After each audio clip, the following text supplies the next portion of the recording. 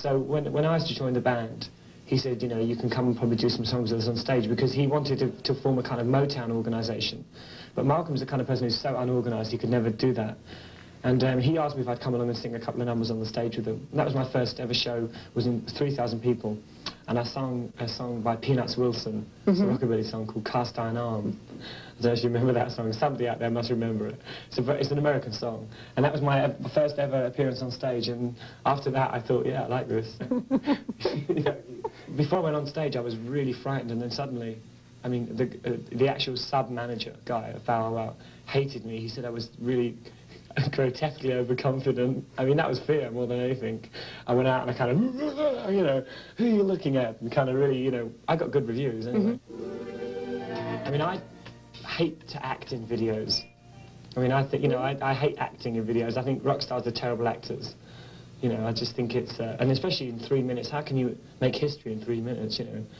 I mean, a lot of the videos are very similar in a way. I kind of like to, to use images and cultural images and I like to also make funny videos. You know, we always, always put some kind of outtake in the video. Like, I don't know if you've seen the Miss Me Blind video, but there's a great shot of Mikey where he goes, because there's these two Thai boxers and one kicks the other one mm. in, the, in, the, lower region. And also things like when Mikey's hat blew off in the Church of the Poison Mind video, there's a, a, great section in I'll Tumble 4 Ya and Roy had learned this dance routine, and they got it wrong, and, you know, John kicks Roy. You know, it, we always use those things because I think you've got to have a certain element of humour in what you're doing. It's only because I wear makeup that people, I mean, obviously, when people see me on TV, they imagine me to be sylph-like and very small. And because um, it, usually a guy of my size would look quite funny and, oh, I mean, I look good in makeup. I mean, I know that doesn't sound mm-hmm. very modest, so forgive me. But um, I do it properly. I mean, if I thought I looked stupid, I wouldn't wear it. Mm -hmm. But I think there are people around who do, you know, there are certain guys who would put makeup on and you would fall off your chair laughing, you know.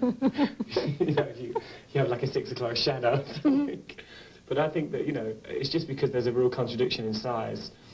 But I think that's good, because people, you know, like, I mean, a lot of people, especially women journalists, the real bitchy ones, they come along and they're, they're hoping that they're going to kind of get one over on you. And I mean, they, they don't realise that I've been, I've been in the ring for the last two and a half years.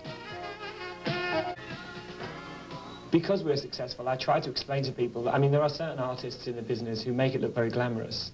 I mean, the media makes rock and roll look very glamorous.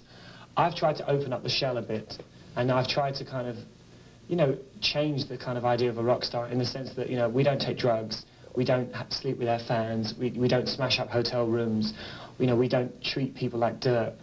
I mean, I believe that, you know, there's a new generation of, of artists who have respect for their bodies and for their mentality and for what they're doing, for also for the people around them, including the fans. And I think that's something that's, that's very good and very positive. I think a lot of the old rock stars are now waking up with the house on fire. All three of those songs were platinum singles from Kissing to Be Clever. We'll be back with much... I believe that you, you, you very rarely find a real love. I mean, you find love at bus stops, in delicatessens, in supermarkets, but you very rarely find love in a nightclub. Everybody goes out to nightclubs to find someone to sleep with, mm -hmm. and they never do. They all go home miserable and penniless and drunk different levels of, of acceptance with dressing up. I mean, a man can go to work five days a week as a trucker, and maybe Friday night he wants to take out his wife, he dresses up. Is he any more honest or, you know, eccentric than I am? You know, I mean, I do what I do for a reason, the same as he does, you know, or a woman. If a woman, you know, I mean, people change their underwear because it's it's uncomfortable to wear dirty clothes, you know. And I think that I just do it because it, it definitely makes me feel better. And I do think I look ugly without makeup. But by the same token, if I ever decide to stop wearing it, I you know, I'll still be able to give interviews. And, you know, my advice to anybody who wants to, to, to get cheap fashion, they should just rip up a dishcloth, you know, get your mother to make it. I mean, God, there's so many women around who can make clothes. You know, I mean, these, these shirts and things were made by some students today. I mean, I got some coats given to me today and yesterday from some fashion students in Canada. So, I mean, that's an example of what young people can do. You know, that, that's, that's what should be encouraged. You should, you know, I mean, high street stores always rip people off. You know, don't go to stores. Go to the mother, go to your mother's linen cupboard and cut up the sheets. Of course it changes you, you know, you can't come from nothing and have a lot of things and not change. Mm -hmm. But it has, I think it's changed me for the better. I'm certainly, because I see things for what they are. I know that five years ago people would have spat at me, and so that stops me from being big-headed. You know, because it can happen all over again. I think people, I believe that the society we live in is definitely in the dark ages. If somebody was being hung in the local square, we'd all be down there throwing tomatoes. You know, do you think we're any different? I really don't.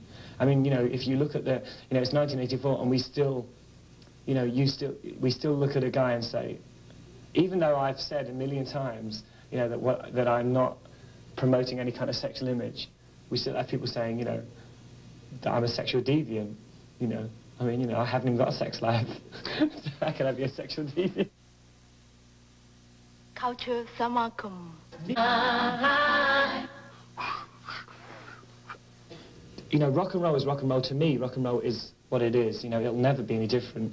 I think obviously you put your own ideas into rock and roll, but I think that when, you, when I'm on stage, I try to communicate with the audience and I try to make them responsible for the show.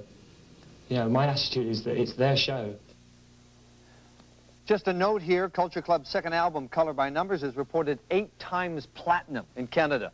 One of the most interesting individuals to enter our lives in quite some time, and an interviewer's delight. Just ask the question and get out of the way and let the boy talk. Thanks again to Sandra Fair of Coming Attractions for asking the questions on our behalf. Next week, we talk to George and Barry of Golden Earring.